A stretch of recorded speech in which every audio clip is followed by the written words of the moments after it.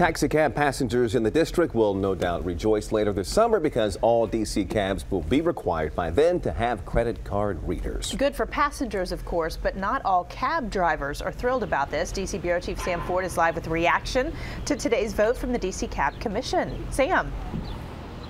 Well, Allison, it seems a lot of those complaints from cab drivers are just fading away. We didn't hear any today, but it is just a matter of time for some 7,000 DC cabs to start having the meters installed, and it should be completed by the end of summer.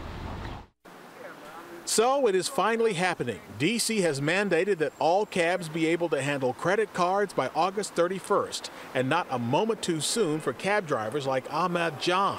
Because I hear a lot of complaints from the passengers. The minute they ask if I take a credit card and I say no, they get upset. Like it is somehow my fault, which is not. This has been a difficult journey for the city. Last summer, Mayor Gray showed off elaborate new smart devices that could handle credit cards and even provide TV.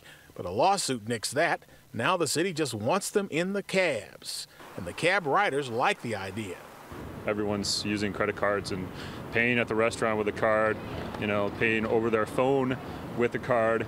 There's been times when I wanted to take a cab and I didn't have any cash on me and to have to go to an ATM. And drivers who used to protest meters, credit card readers, anything, now seem to have accepted it's coming. Some are even using smartphones to do it now. I'm already taking a credit card. If somebody asking for a credit card, I'll take it. Travelers could not recall another city where cabs don't take credit cards. Said one, it's the 21st century. So how do drivers pay for these new credit card readers? The Taxi Cab Commission today is increasing the drop rate. That's when you first get in a cab from $3 to $3.25. Also, the drivers will be able to charge an extra dollar for each extra passenger. Reporting live from Northwest Washington, Sam Ford, ABC 7 News. Okay.